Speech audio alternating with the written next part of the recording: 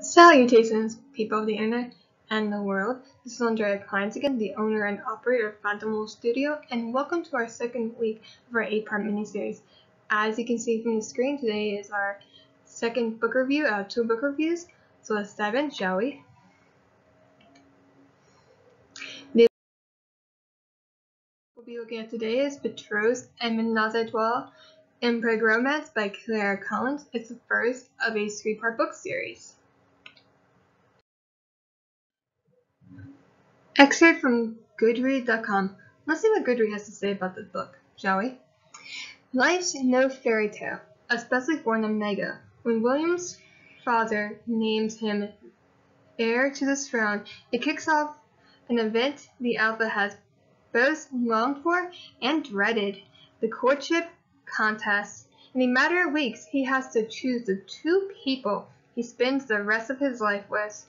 He has Elliot his best friend and secret love, but his family cares more about making the right kind of mask, less about the little things like love and happiness. Will doesn't want to end up in an unhappy marriage like his father, and he doesn't share his family's loathing of Omegas. Elliot loves Will with all his heart, and the long waits for them to be together is almost over. But first, he has to help Will with the difficult task of choosing the third person to share their life with.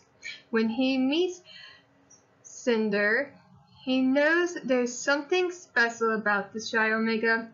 Choosing an Omega wouldn't be easy given the kingdom's past, but he determined they'd make it work until he realized there's more working against them than simply jealousy and family politics. Like every Omega in their island's kingdom, Cinder dreams of being in, invited to the palace and the princess falling in love with him. Too bad that only happens in fairy tales. When his stepfather sabotages any chances he has of being selected, Cinder thinks it's time to let go of his dreams. But when a twist of fate sees him wind up in the palace anyways, he has the chance he's always wanted. He finds himself dealing with jealous, jealous betas, his bully of a stepbrother, and a royal family who wants to pretend Omegas don't exist.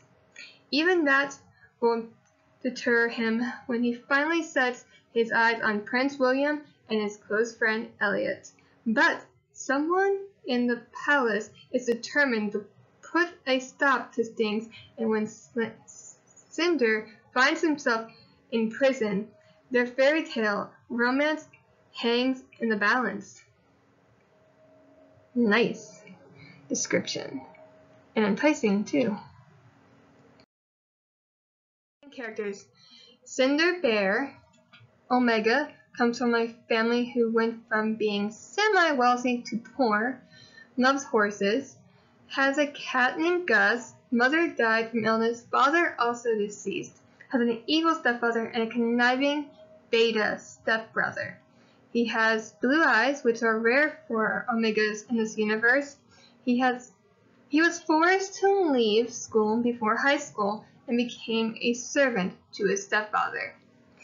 Elliot Langeris, Beta, he's a captain in the military along with a medic in the military. He likes to fly, he's compassionate, never backs down when someone's in danger. He has a younger sister, father's chief of police.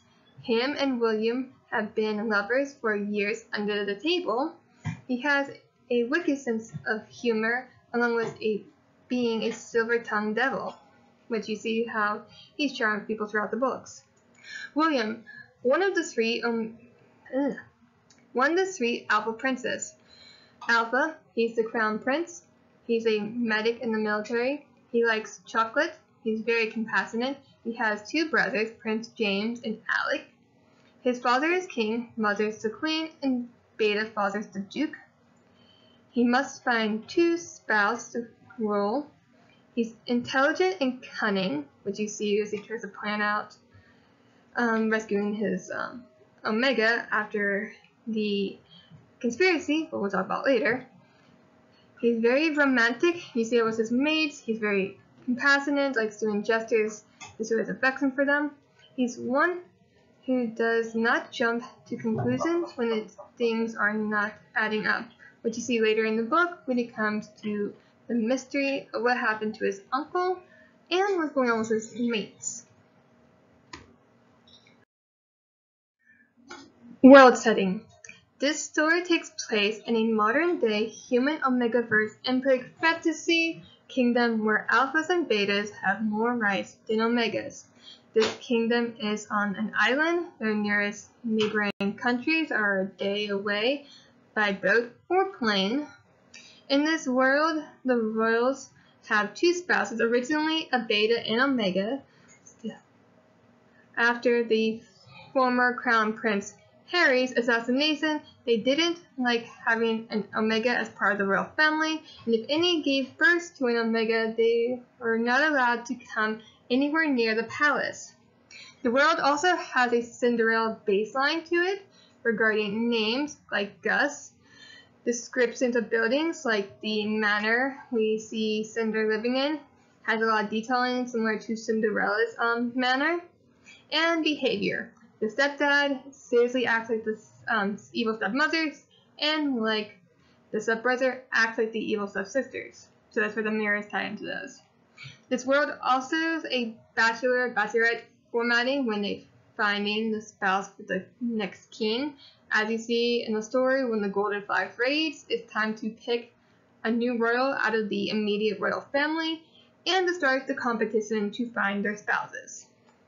There's also a stick a rebel movement of people wanting Omega rights who get go to extremes. We see this we hints at in the story. There was bombs by these people. They're very concerned about Omega activists getting into the castle because they're worried about assassination attempts. They felt like this would happen was Prince Harry, which we'll get into later. That's a big thing, really big. Warning! Spoiler alerts! If you are not a fan of spoilers, I recommend to go to the part of the video where it says end of spoilers to see the rest of the video. But if you are okay with spoilers, please continue.